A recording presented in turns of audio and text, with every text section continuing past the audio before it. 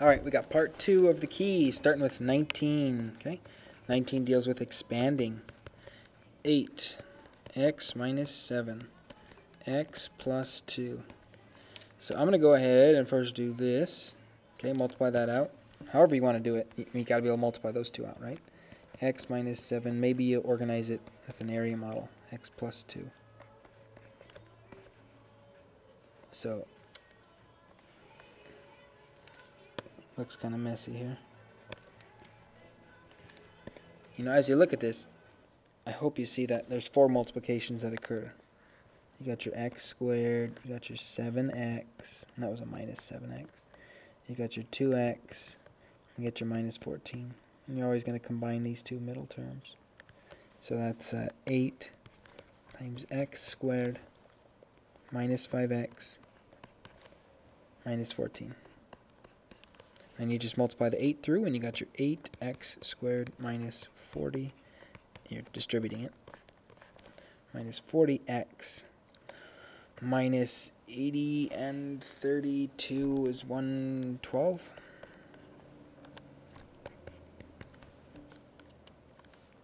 Okay. Make sure I got that multiplication right. Yep. Okay, then 20. y equals 2x 3x minus 4. Just distribute it. That would be 6x squared minus 8x. 21. You got uh, y equals 3x plus 4 negative 2x minus 4. That's a parabola that opens down. You just want to really, you're going to expand it. You're going to put it in standard form. Here's one way to organize it. I mean, 3x has to hit both of those. Okay? So 3x hits negative 2x, you got a negative 6x multiplies. Negative 6x squared. 3x times a minus 4 is a minus 12x. And don't forget this one, 4. 4 and negative 2x make uh, negative 8x. And 4 and negative 4 make minus 16. So once again, here's the middle terms you combine. So you got negative 6x squared minus 20x minus 16. So we're going to keep going. We're making progress. Alright, so the next problem that we go to is number 22. 22 is just another expand problem. Why? You got a quadratic here. It's kind of cool one. You got uh, you're sitting in vertex form. This is a parabola whose vertex is at well, x minus 3 moves you right 3, so 3, 4, the vertical stretch of 2. Uh, nonetheless, we are going to multiply this out. So, uh, 2 x minus 3, x minus 3, minus 4. I'm going to multiply this 2 in. That gives me a 2x minus 6. I'm going to multiply that by x minus 3. So now I got yellow times blue. Four multiplications, 1 and 2. That gives me 2x squared minus 6x, 3 and 4 minus 6x plus 18 minus 4. 2x squared minus 12x plus 14.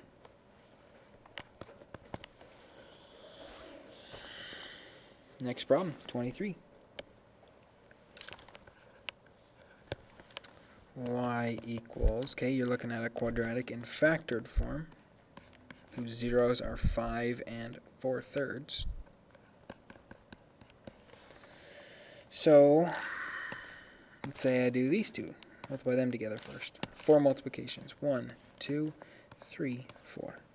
So, number one gets me 3x squared. Number two is a minus 4x. Number three is a minus 15x. Number four is a plus 20.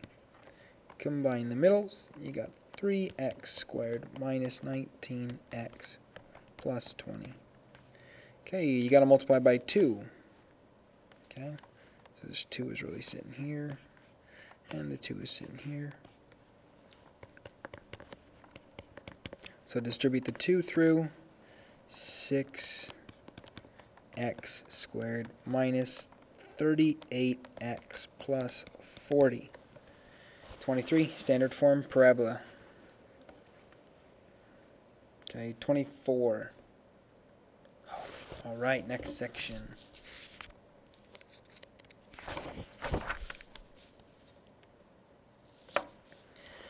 Twenty-four. Well, twenty-four on the back really turns into number one. Graph and write an equation in all three forms. Label your answers. These ones are going to take a little while, but we can do it.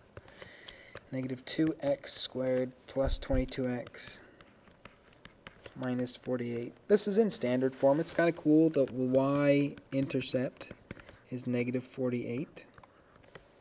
That'll be nice to know. Um, from standard form, I can also grab the vertex easily.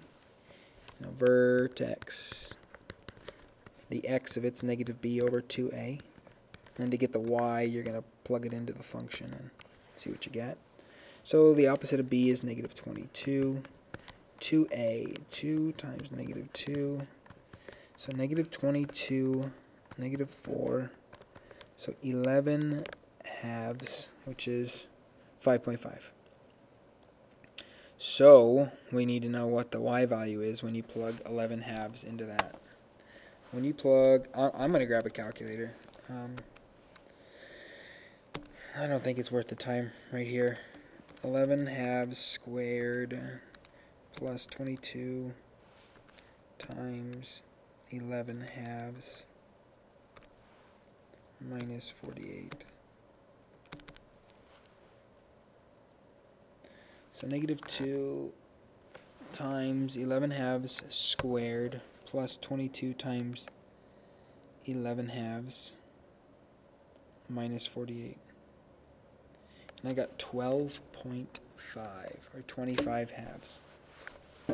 So when you plug 11 halves in for that x and that x, y becomes 25 halves or 12.5. So kind of messy here. Vertex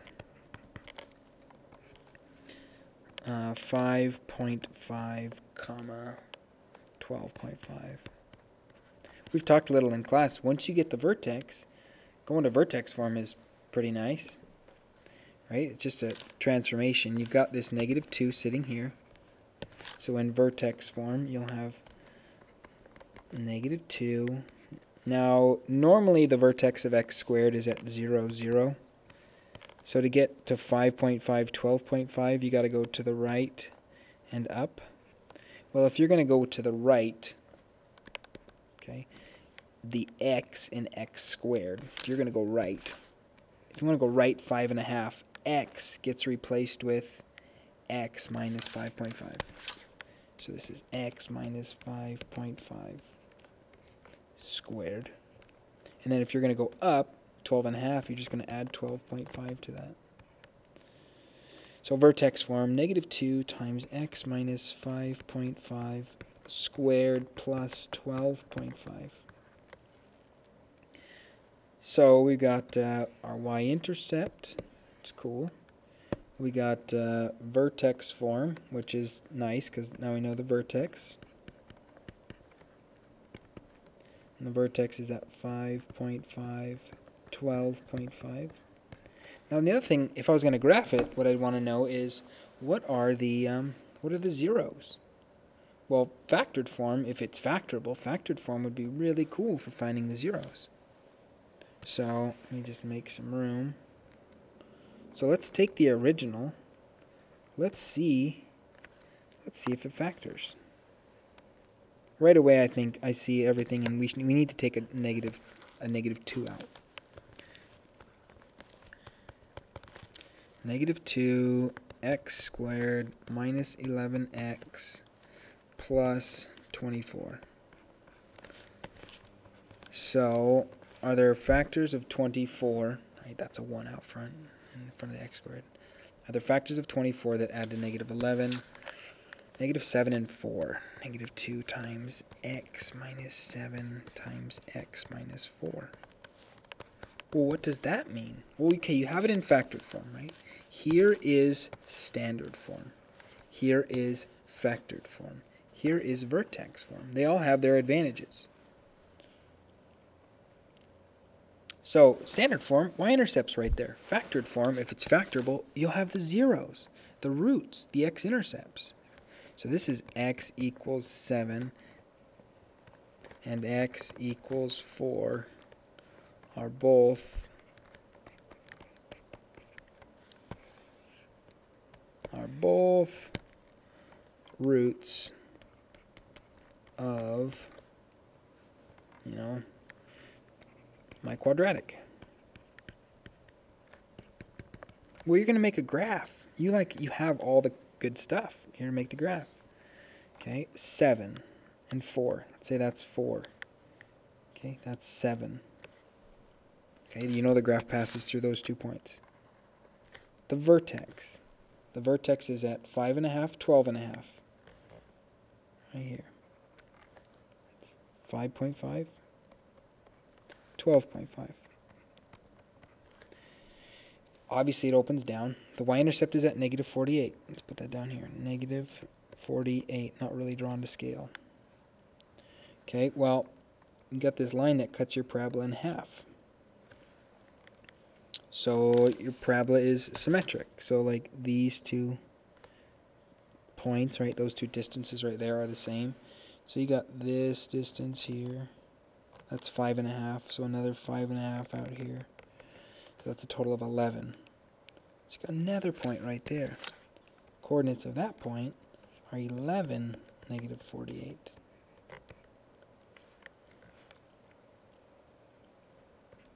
So, make a graph, no problem. So my graph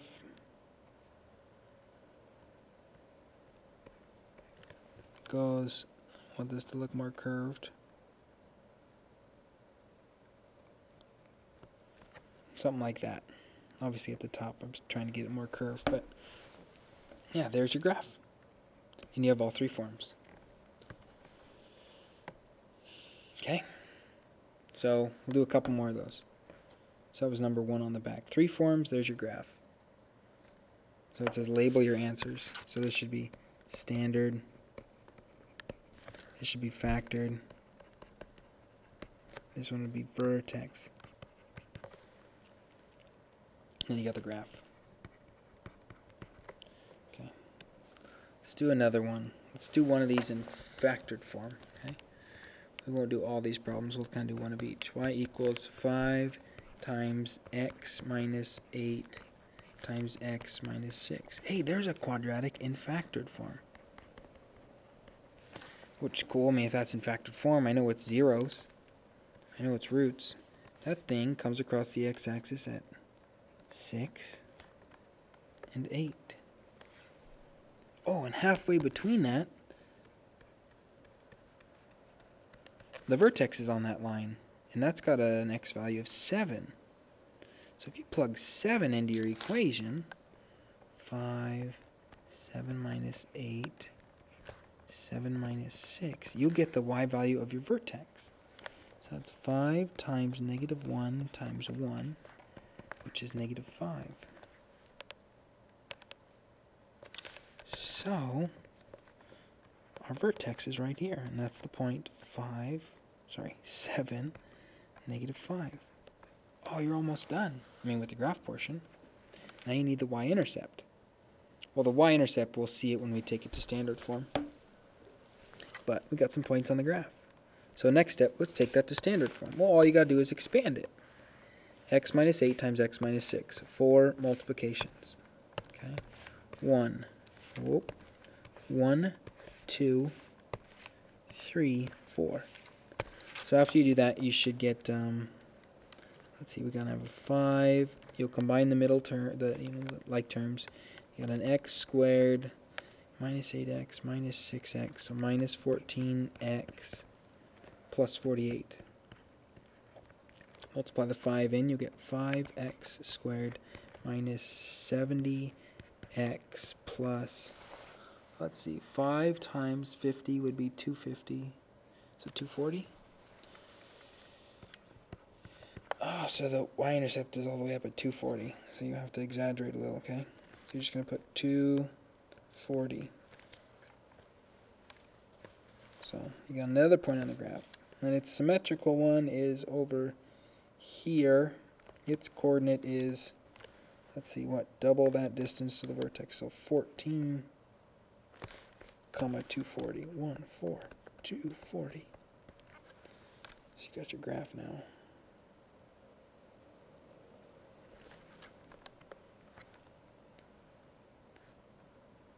Boom, there's your graph. So that's done. We got we got started in factored form, we got the graph, we got standard form. Now we just need vertex form. Easy, right? You got the vertex. Vertex form will be easy, okay? So all you need to pay attention to is that blue thing, that blue thing. Vertex form. So we're going y equals 5. That came from this 5 right here. Check. Or this 5 right here. Either one. Okay, 5. Oops. 5 times, okay, vertex is right 7. That would be, if I want to go right 7, it's x minus 7. And down 5. Boom, right there. Vertex form. So you got factored, you got standard, and you got your vertex form. Next problem. So we did one from standard. Did I write the first one? Yep. We did one from standard. There's one from uh, factored form. we should probably do one from vertex form. So I'm gonna pick um, I'm gonna pick number six from vertex form, which is y equals negative five opens down x minus 7 squared plus 20. Did you know the vertex is at how does that compare to x squared? Let's see, it's right 7 and up 20. So 0, 0, move right 7, 7, comma 20. That'll be nice for the graph. Um, okay, so I'm going to multiply this out. I'm going to go to standard form. So negative 5, x minus 7, x minus 7, plus 20 negative 5 times x squared minus 14x plus 49 plus 20.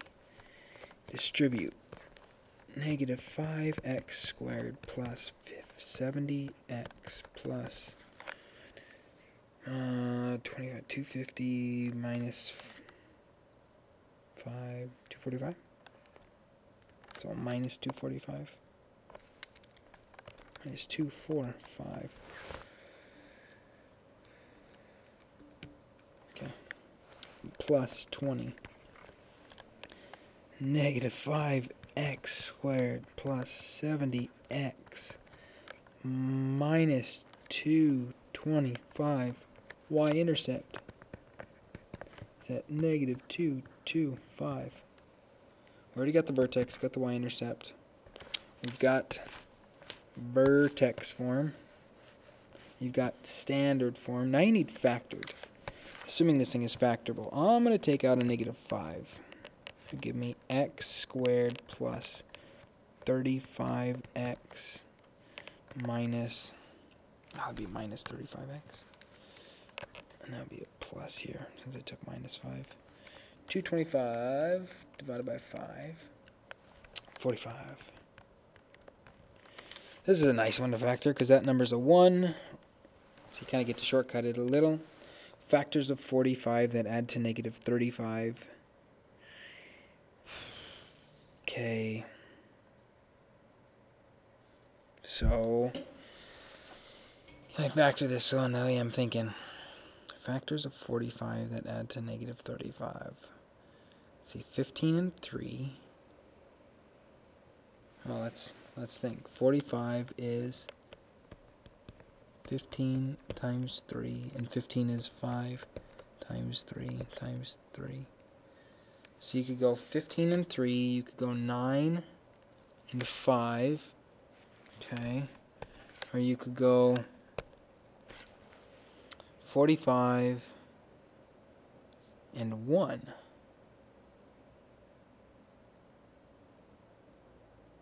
All right. So you're thinking, how am I going to factor this if um, I can't find factors of 45 that add a negative 35? I'm checking my work here. I'm making sure that we even chose this one as possible. I'm thinking that this one doesn't factor in the manner in which we think it does. Oh, let's see. Number six.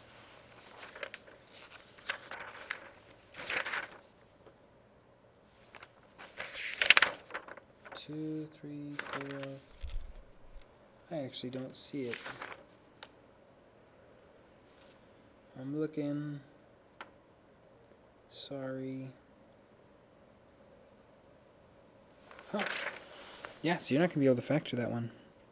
You know, factor over the over the number set that we've been factoring everything else over. So you're you're good there, unless I made an error. I'm looking back through it.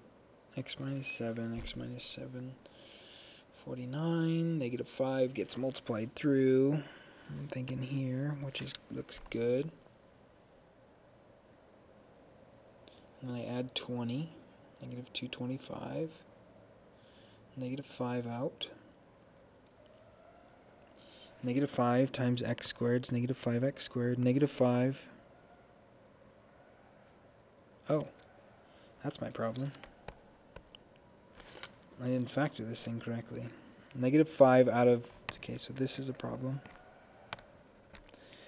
Uh, 70. There we go. 70 divided by 5 is...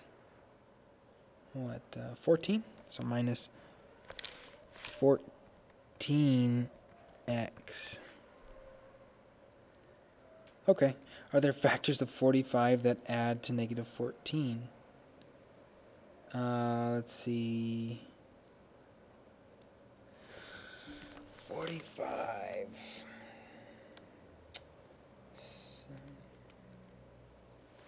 Are there factors of 45 that add to negative 14? Uh, yes. 9 and 5. Other factors. Yep. Okay. Negative 9. Sorry. X minus 9. X minus 5. That'll do it. So now we're looking at it in factored form. My apologies. I was not able to see that right away factored, standard. You know, now that you've got factored, now you know the zeros, right? Zeros are the roots, are 9. So we'll label them here. Well, the zeros are at uh, 9 comma 0, 5 comma 0. So we can take this information and make a graph. So we'll free up some room. Okay, so real quick, you got the x-axis, you got the y-axis, you got 9, you got 5, you got the vertex, okay, obviously lies on the line halfway between them, 720, so let's call this, uh, this will be 20, okay, 720, and the y-intercept's at negative 225 so we'll put this negative 225 so symmetrical to that point in purple. We're going to go over here. So that would be the point 14 comma negative 225 and we have our graph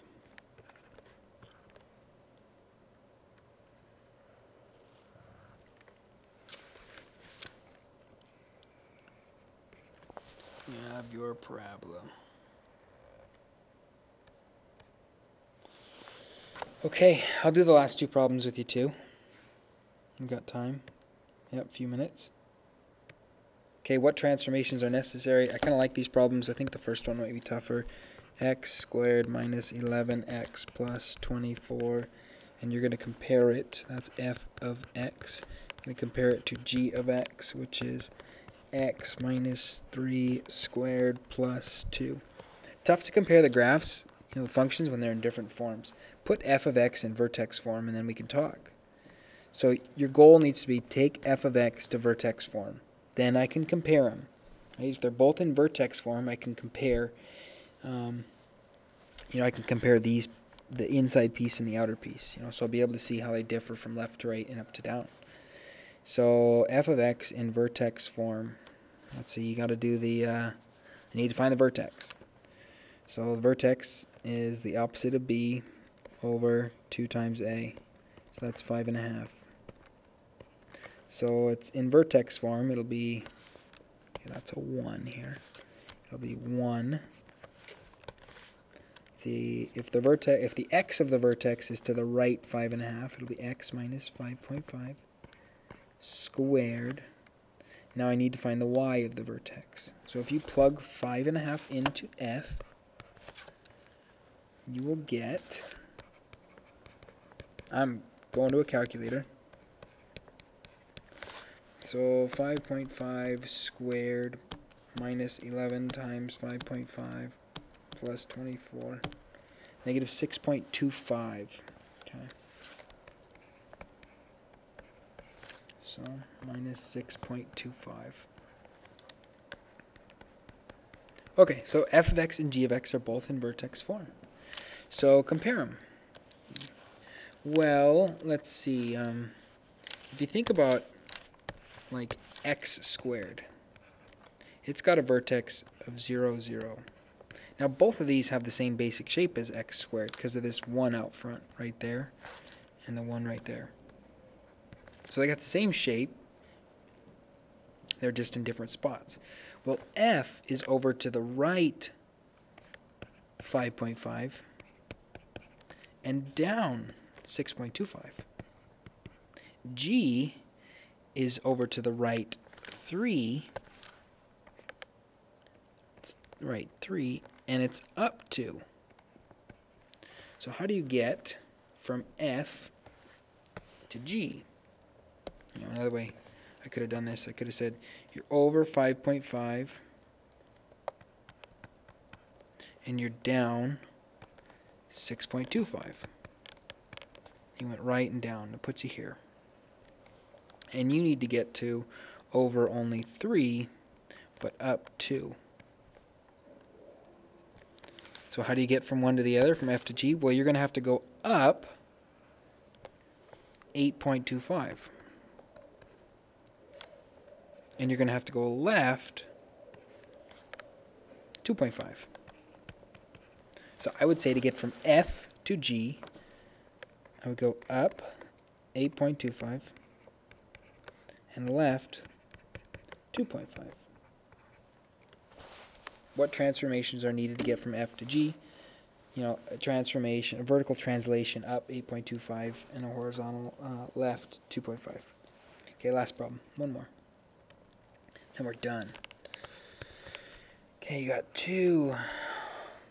Okay, f of x is 2x squared. I'm just going to change it all to x. It's 4x minus 6.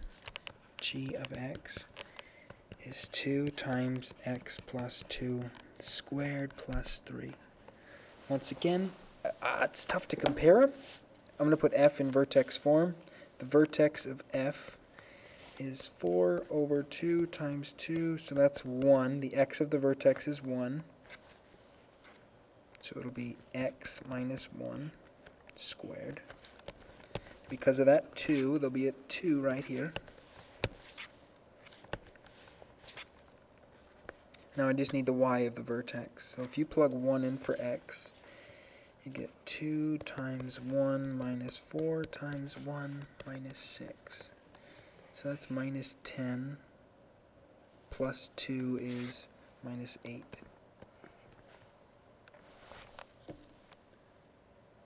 Alright. So, hey, I'm sitting in vertex form. So that's your f of x. Now you just need to compare the two in green. So how do you go from f to g? Okay, really nice. They both have this too. So f, the vertex of f is right 1 down 8. The vertex of G is left 2 up 3.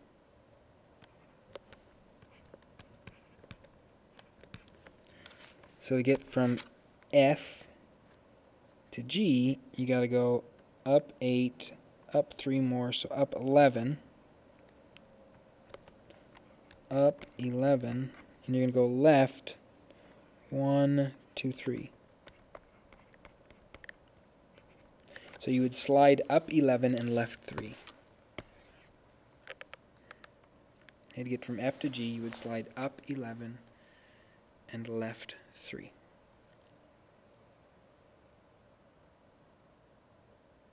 So, yeah, we're good. We're done. Thank you.